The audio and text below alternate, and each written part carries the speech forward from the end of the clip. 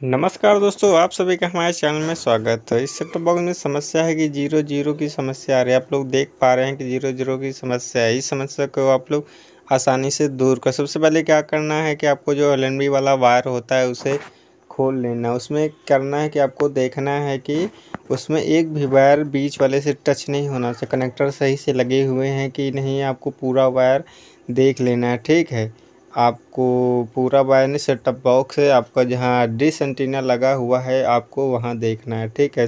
पूरे वायर को देखना है आपको जो एलएनबी वाला वायर है तो आप लोग देख सकते हैं कि ये एलएनबी वायर में थोड़ा सा वायर हटा हुआ है इसके वजह से ज़ीरो ज़ीरो की प्रॉब्लम आ रही तो इस कनेक्टर को आप लोग यानी जो देखिए इसमें से आ, हटा हट गया था इसकी वजह से इस ज़ीरो ज़ीरो प्रॉब्लम आ रही देखते हैं इसको लगाने के बाद समस्या दूर हो पाती है कि नहीं तो इस समस्या को लोग, आप लोग आसानी से दूर कर सकते सो मैं लगा लेता हूँ, आप लोग देख सकते हैं कि इसको बिल्कुल आसानी से आप लोग कनेक्टर लगाना सीख सकते हैं। अगर आप लोग चाहते हैं कनेक्टर कैसे लगाए तो आप कमेंट करें। तो इस बार को मैं क्या करता हूँ, देख सकते हो, मैंने टेबल पर रख लिया। इस टेबल पर आपको दिखाता हूँ कि वायर कैसे क्या होता है। आप लोग इस वीडियो में लास्ट तक बने रहिएगा। तो वायर में आप लोग देख सकते हैं, इस वायर को करना है कि सब वायर देख लेना है आपको। आपको वायर नहीं खोलना है, जहाँ से आप लगा है वहाँ से आप लोग देख सकते हैं। इस कनेक्टर को मैंने बाहर लगा लेता हूँ, उस आप लोग देखिए, बीच वाले वायर से एक भी वायर टच नहीं होना चाहिए। जो जालीदार वायर होते हैं, इसमें एक भी वायर नहीं होना चाहिए। मैं, ठीक नहीं तो आपका सेटअप बॉक्स बंद हो सकता है। इसको मैं कनेक्टर को लगा लिया है। अब देखते हैं कि सेटअप बॉक्स में वायर लगाते हैं कि कि अब कोई दिक्कत आ रही है कि नहीं है ठीक इस वायर को मैं लगा था टब्बा से लगाने से बंद होता है कि नहीं, वो आप लोग देखिए, ठीक है। मैं इसको लगाया तो आप लोग देखिए सेटअप बॉक्स तो नहीं बंद हुआ, ठीक। इसके बाद क्या करना है, आपको वो जानिए, वीडियो को लास्ट तक देखने तभी आपको समझ में आएँगे। जो दूसरा वायर है, आपको करना क्या है, ठीक है। जो बीच वाला वायर है, इसको ग्राउंड वाले से, यानी माइनस प्लस में आपको टच करना है कि वायर सही हुआ है कि नहीं। देख सकते हो मैं इसको टच कर दिया है। देख सकते हो कि वायर हमारा सही, अगर ऐसा हो जा रहा है, इसका मतलब हमारा वायर सही है। अब इस वायर को मैं क्या करूँगा? आपको सेटअप बॉक्स ऑन करके, ऑफ़ करने, ऑन कर लेना है, जिससे कि यह समस्या आपको दूर हो जाए। अब क्या करना है? इस वायर को मैं एल में लगाता हूँ, ठीक है? आपको करना है, ऐसे आप लोग कर सकते हो, जिससे यह समस्या आपको दूर हो जाएगी।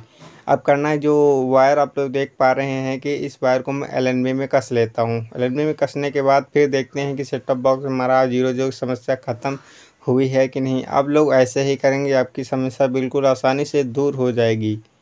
आपको वायर देख लेना, कहीं से कट्टा फिटा तो नहीं है, ठीक है? अगर कहीं का कट्टा फिटा है तो वहाँ से जॉइंट वगैरह आप लोग कर सकते हैं, आपकी समस्या दूर हो जाएगी। अगर आपने टीवी में टीवी चैनल यानी सभी चैनल डिलीट कर दे, तब जो जो समस्या आ रही तो ऑटो स्कैन के वापस ला सकते हैं, चैनल का आनंद ले सकते हैं। ठीक, इसको देख सकते हैं, अब देखते हैं कि एल से आपका हमारा सेटअप बॉक्स में वार कनेक्ट हुआ है कि नहीं, वो देखते हैं। तो सबसे पहले क्या करना है हमको, इस सेटअप बॉक्स को ऑन करते हैं, ठीक? आप लोग देखिए, मैं सेटअप बॉक्स को ऑन करता हूँ। तो सबसे पहले करना क्या है कि सेटअप बॉक्स ऑन करने से पहले जो बीच, पीछे वाला जो डिश एंटीना वायर होता है, उसको हटा लेंगे। उसके बाद सेटअप बॉक्स को ऑन कर लिया है। देख ले, अब सिग्नल वाला बटन अब पी ज़ीरो दिखा रहा पी ज़ीरो ज़ीरो दिखा रहा है। ठीक, इसका मतलब क्या है? अभी भी वायर कनेक्ट नहीं है। तब क्या करना है? जो डिश एंटीना वाला वायर होता है, हम इसको पीछे से लगा लेते हैं।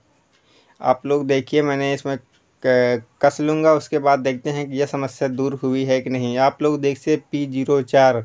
इसका मतलब है कि पी ज़ीरो चार मतलब है हमारी समस्या ज़ीरो ज़ीरो की समस्या सही हो चुकी है ठीक है? इसमें ऐसे ही आप दो करो आपकी समस्या दूर हो जाएगी ठीक है? आ, इसमें सिग्नल सेट नहीं है नहीं तो आपको वरना सिग्नल भी देखते हैं आपको देख सकते हैं एलएनबी से हमारा वायर कनेक्ट है इसमें सिग्नल सेट नहीं है वरना आपको सिग्नल इसमें देख देखते आप लोगों को यह वीडियो बहुत पसंद आया होगा तब तक ले जय हिंद जय